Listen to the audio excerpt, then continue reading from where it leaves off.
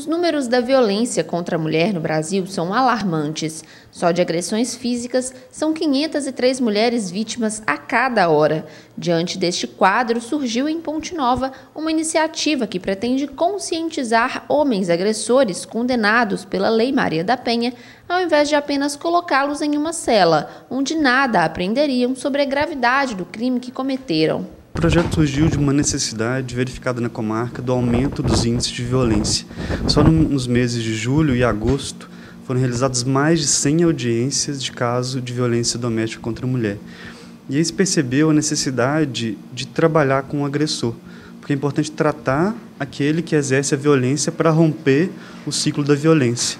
E aí, numa conversa com a promotora de justiça e a defensoria pública, foi idealizado o projeto Ponte para a Paz entre as Famílias para tratar esses agressores por um período de tempo, com o objetivo de evitar a reincidência. A meta principal do projeto é reeducar os homens agressores para que eles mudem a forma de pensar e não voltem a violentar nenhuma mulher.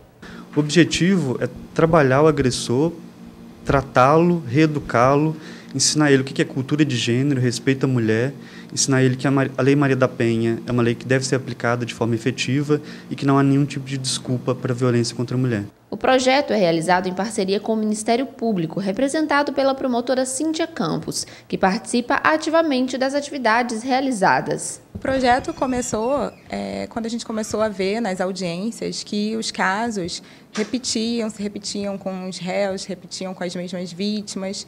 Então, o Ministério Público, a, a pedido do juiz, né, é, a gente começou a pensar em como a gente poderia mudar essa situação.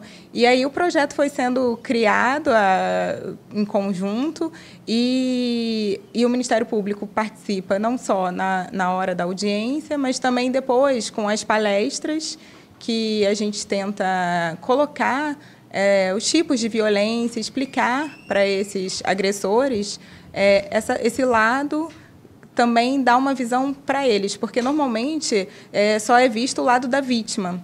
E aqui a gente está tentando ressocializar esses agressores. E aí esse é o papel do Ministério Público nesse projeto.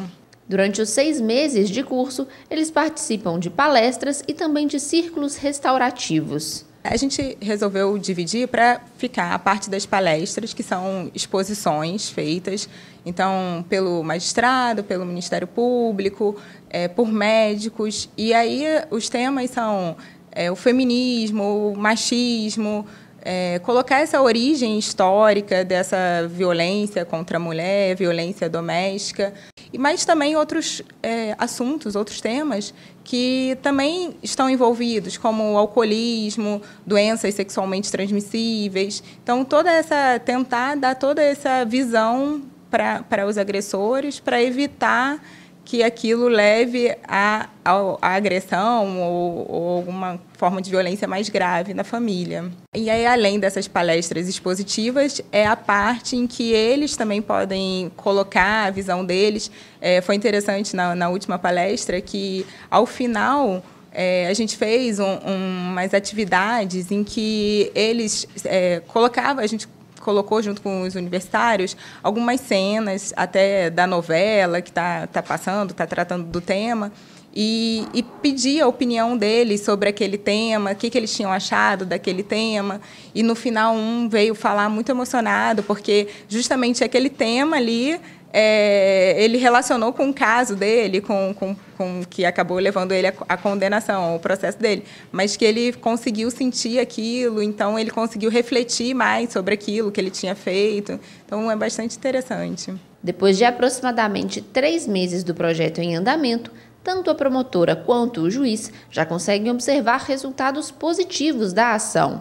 A gente tem visto que muitos têm parado para refletir, porque até então é, são comportamentos que eles repetem e não sabem por quê, né? Vão só levando aquela coisa histórica, cultural. E aí agora a gente está vendo que realmente muitos pararam para pensar no que tinha feito e que isso influencia na família toda. Foi um ponto que a gente quis colocar, que a violência contra a mulher não atinge só a mulher, atinge a família toda, atinge os filhos. E também uma coisa que a gente está percebendo é que isso está dando frutos é, dentro da família, no sentido de que os filhos vão ser criados com outra, com outra visão e espalhar um pouco mais essa, essa ideia dessa, de educação, de acabar com o machismo, porque nos ciclos eles falam muito desse histórico familiar de agressão que o pai já agredia, então agredia a mãe, agredia eles, então é, é, é como se fosse repetir aquela conduta e agora eles estão parando para pensar por que, que aquilo é feito. Os resultados são os melhores possíveis. Hoje nós temos 60 homens que participam desse projeto. A participação deles é obrigatória. Se eles não vierem, eles podem ser presos. Então eles são obrigados a vir. E o próprio relato deles é um relato de mudança de postura. Na última reunião que teve, uma, uma das esposas veio e contou que ele tinha agredido ela no meio da rua, na praça, na frente dos filhos, que depois que ele começou a participar do projeto, ele chegou em casa e disse que não, nunca mais bateria nela, que passaria a respeitá-la. Então ela mesma agradecia por ele ter sido incluído ali. Até a relação do casal melhorou. É, o objetivo é esse, fazer cessar a violência doméstica contra a mulher em Ponte Nova. E diante dessas mudanças no comportamento dos homens, a expectativa da promotora é de que o projeto tenha outras turmas. A verdade é que os processos não param, né? Então a gente vendo esse resultado, então está muito animado para continuar o projeto. E aí os novos novos casos vão, vão, se, vão ser colocados nessa outra turma e eu acho que vai ser uma experiência. A gente está até pretendendo que alguns casos dessa turma, algumas pessoas, possam participar nos próximos ciclos, no próximo, para contar a experiência deles, que a gente espera seja a melhor possível.